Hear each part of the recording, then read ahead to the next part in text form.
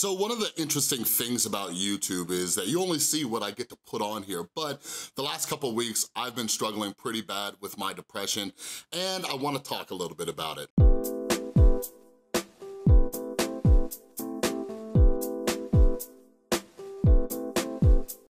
What is up, everybody? This is Chris from The Rewired Soul, where we talk about the problem, but focus on the solution. And welcome back to another video where we are diving deep into depression.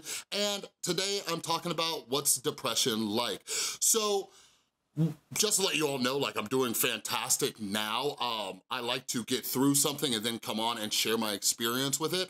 And real quick, I, I saw my buddy Kim Charlson, I'll link her channel down below.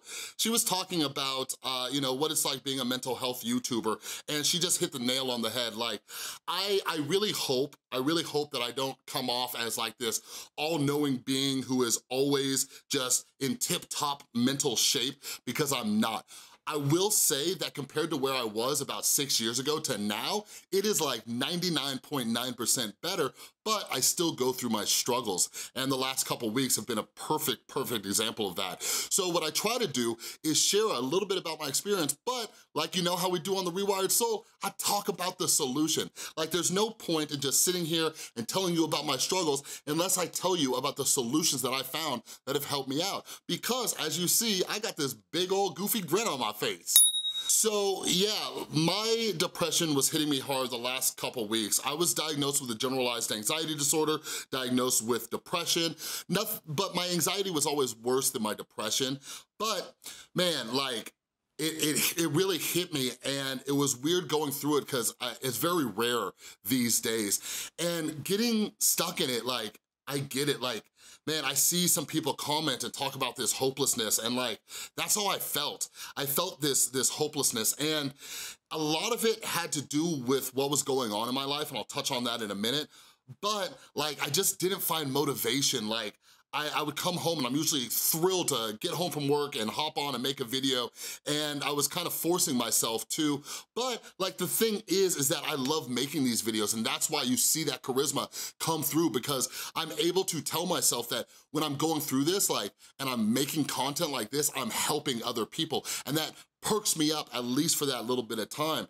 But the motivation was lacking in other places and like I just felt completely down and out. And something that my brain still does, and I need to make videos about this, like I have the most self-critical brain. Like my brain tells me that I am just a garbage person, right? That I'm, I'm terrible at my job, I'm not a good boyfriend, I'm not a good father, I'm not great at YouTube. Like, this is what my brain tells me.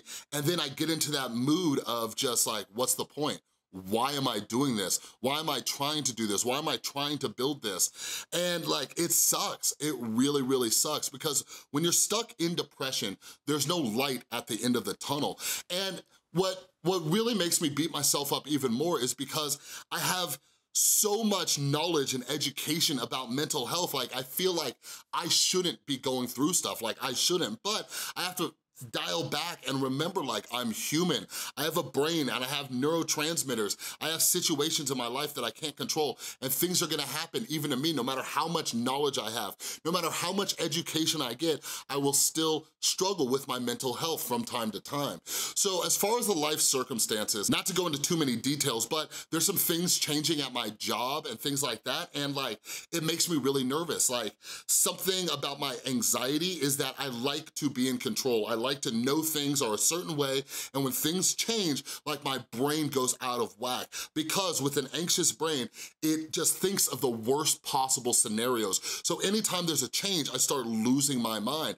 But, and this is just a theory too, like a lot of you are new subscribers. In the last month or so, I've gotten about 4,000 subscribers, and it was this great high. It went on for about two weeks and then it dipped off. And like, I, I try to remember, cause like, even when it was happening, I knew, I knew. I told my girlfriend, I told my other friends, I was like, this is gonna stop and I gotta be prepared cause it's going to stop but I wasn't getting that constant dopamine burst of like refreshing my YouTube channel and just seeing new subscribers, new subscribers, new subscribers, even though it has still continued to grow, you know, just not as much in the last couple weeks. And like, I am so appreciative of all of you who are subscribed and check out my videos videos and try to find help for your mental health, or you share my videos with other people who are struggling. So when you combine the work stuff and then the YouTube stuff, um, like, there's just a lot been going on. And now it's time for us to start focusing on the solution. Like, I wanna tell you the things that I did to get myself out of depression, okay? First and foremost, some of you saw my video maybe uh, a month or two ago about how I stopped taking my meds, okay? I talked about how I did this with my doctor and everything like that. But one thing that I always do is I always have a refill just in case this happens. So I was able to kind of sit back and my girlfriend actually mentioned it too, and I decided to start taking my medications again. Like, no shame in that. I have no problem sharing that with all of you. Like, my brain wants to tell me, Chris, you failed, you were doing so well without your medications. Like, that's what my brain wants to tell me, but these medications do help. So I started doing that, I started feeling a little bit better, but like the next thing I did, and I can't stress this enough, like I had to tell people about it. I had to tell people about it. Now, although I wasn't voicing it on YouTube or on my Instagram and stuff, I was calling people, like I was telling everybody, like I have to be open and honest about what I'm feeling so the people who love and care about me can help me when I need it. So I turned to my girlfriend, I told her, I said, hey, I've been really struggling with depression lately. I called up my mom and I told her too. My mom is a psychologist and she helps me out a lot. She's also in recovery from addiction. I told other friends, I talked to my fellow YouTube buddies and like, the love and compassion and stuff that I got or just having them there to listen to me, like it, it got this weight off my shoulder just by just being able to talk to them. Now, I am very fortunate that I work at a mental health treatment center, so I work with a bunch of therapists. So I went to one of my therapists, one of my coworkers who I trust a lot, and like we sat down and we just talked. And like she offered me so much good advice. And it wasn't even like a therapy session.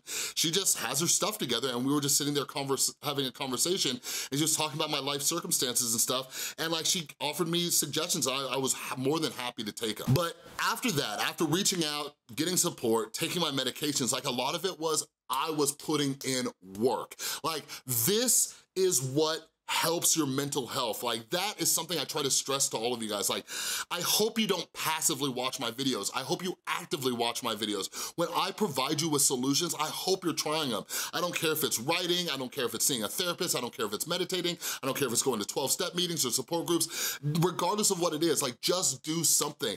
And like, because I have all this knowledge and education about all these different solutions, I just started going nuts. I started trying everything.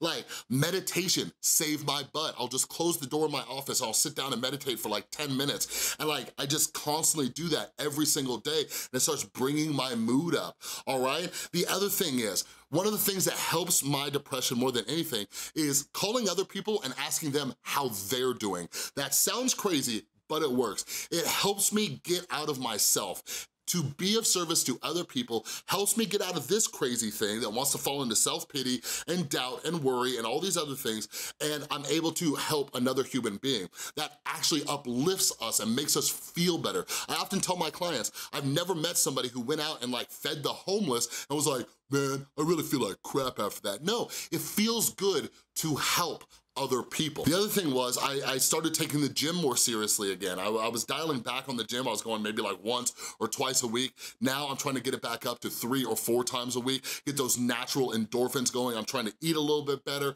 and I'm losing weight. My girlfriend's been doing great going to the gym too, so that motivates me as well. But like, man, I just can't stress enough, like, our mental health is our responsibility. It's not fair to ourselves or the people who care about us to sit in our depression or our anxiety or our mental illness without even trying to get some help. And I get it, like, like I said, the motivation to do things wasn't there, but I have to sit there and just force myself to just do one thing, just one thing, and it starts to get that ball rolling, you know what I mean? And like, I would set little goals for myself, like just do this, just make this phone call, just text this person, just meditate for five minutes if you can't do 10 minutes, whatever it is, just small little baby steps, and I'm feeling amazing now, all right?